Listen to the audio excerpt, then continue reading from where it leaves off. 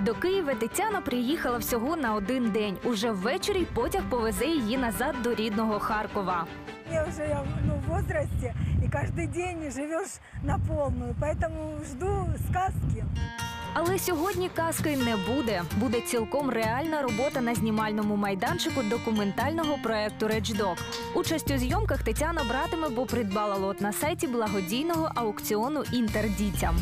На вході на знімальний майданчик напис Тихо. Уже йдуть зйомки. Усі розмовляють пошепки. Сцену з Тетяною зніматимуть за годину. Тож у гримера та стиліста ще є час зробити свою справу.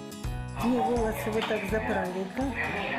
Ну, как, как вы скажете, как нужно. Все, все на 23, я готовлю. А тепер знайомтеся знову. Це вже не Тетяна, а громадянка Рябчун, медсестра на пенсії. За сценарієм вона сусідка убитого лікаря. Її свідчення одна з головних зачіпок слідства. Е, Він що запив? Та якби ж тільки це. Про самогубство часто балакав. А, Отруїтися хотів. А я питаю, що є чим? А він каже, є чим. Здебільшого людина, коли потрапляє перед камеру, е, вона тушується. Е, Слова те, що забувається мінімум, її навіть заклякає. Але в даному випадку такого не було. Тобто людина досить таки розкована.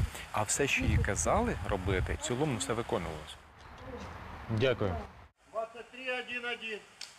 Друзья, никто не разговаривает. Саша, Ларик, що трапилося? Толіку треба в лікарню. Погано зовсім.